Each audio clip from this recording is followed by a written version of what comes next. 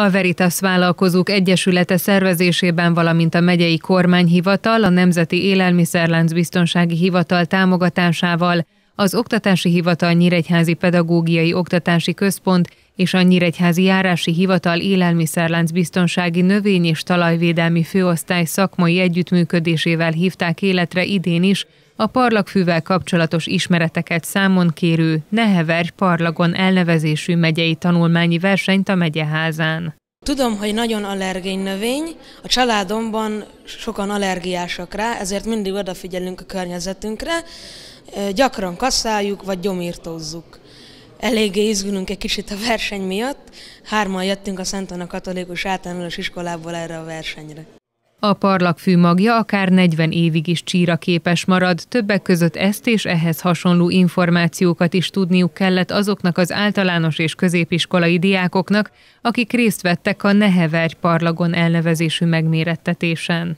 A gyerekektől azt várjuk, hogy korrekt információkat kapjanak a parlagfűről, pontosan tudják, hogy mit jelent ez a probléma, és jussunk el gondolatba oda, hogy lassan már természetes, hogy nem dobálom el a papírzsebkendőt, vagy hogyha éppen látok egy darab szemetet, lehajolok érte és bedobom a kukába. Legyen ugyanilyen természetes az is, hogyha látok egy tőparlagfőet, lehajolok és kihúzom. Tudom, hogy ez egy kicsit utopisztikus elgondolás, de hogyha megpróbálunk információt adni a gyerekeknek, ha megpróbáljuk ránevelni őket, és már a legfiatalabbakkal kezdjük ennek a gondolatnak az átültetését, akkor előbb-utóbb sikeresek leszünk.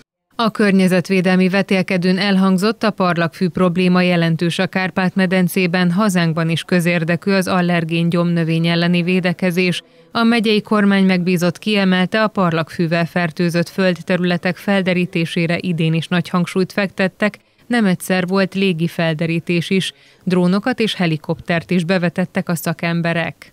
Igen, sok ellenőrzést folytattunk le. A, el kell, hogy mondjam, hogy a cél az nem a büntetés volt ö, elsősorban, de ahol szükségeltetett megtettük. 167 esetben szabtunk ki valamilyen bírságot, és 128 esetben rendeltünk el kényszerkaszálást. Hozzá kell, hogy tegyem, hogy a külterületekre vonatkozik a feladat és hatáskörünk. A belterületek esetében a jegyző az a kintézkedési jogkörrel bír.